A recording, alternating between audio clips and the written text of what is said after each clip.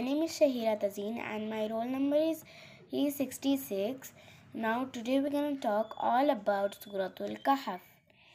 Now Surah Kahf is the 18th surah of Quran Kareem and it has 110 ayats and 12 rukus in it. Now the Jewish scholars asked Nabi Sallallahu three questions, but Nabi Sallallahu Alaihi Wasallam said he will tell tomorrow, but he forgot to say Insha'Allah. And Allah did not send any revolution till 15 days because he didn't tell Inshallah. The the people were making fun of him till till the, that time by telling he is not a true prophet and then after 15 days Allah subhanahu wa ta'ala sent the wahi by Jibreel alayhi salam.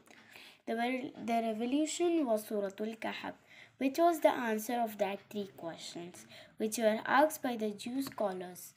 That is the reason why Surah Kahf was revealed. Now, hmm, for, so I'm gonna tell about the significance of this surah. The significance of this surah is the story of an ancient followers who faced the hardship of truth. They asked Allah subhanahu wa ta'ala for protection and He protects them in a cave by metaphoric sleep rest for centuries.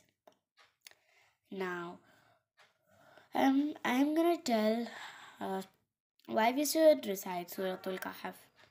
Now, uh, Surah Whoever recites Surah Al-Kahf on Friday, Allah subhanahu wa ta'ala will shower a light, nur, on a face that will last till the next two Fridays. Next two Fridays.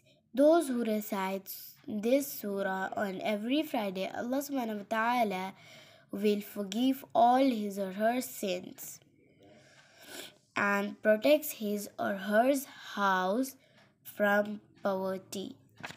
جزاك الله خيرا كثيرا. السلام عليكم ورحمة الله وبركاته.